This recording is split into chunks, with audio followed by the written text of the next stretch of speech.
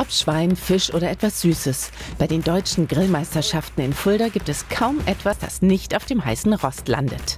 Eines war dabei sicher. Außergewöhnlich steht bei den Grillprofis auf dem Programm. Also ich hatte eigentlich gedacht, 2017 haben sie schon alles erreicht, aber 2018 haben sie jetzt nochmal eine Schaufel draufgelegt.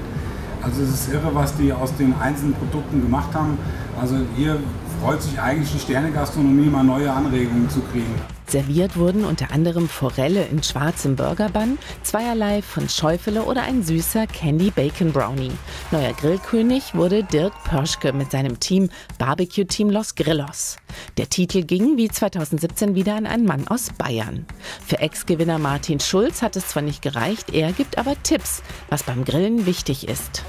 Eine gute Fleischqualität ist ganz, ganz wichtig. Äh, das ist das Erste. Die nächste Geschichte ist nicht zu heiß grillen. Ich denke, 50 Prozent der, der, Deutschen grillt mit viel zu viel Kohle und viel zu heiß. Da ist zum Beispiel von mir auch immer der Tipp, nimm lieber ein bisschen weniger. Wenn es fünf Minuten länger dauert, ist es kein Weinbruch, aber wenn es verbrannt ist, ist es kaputt. Na dann, guten Appetit!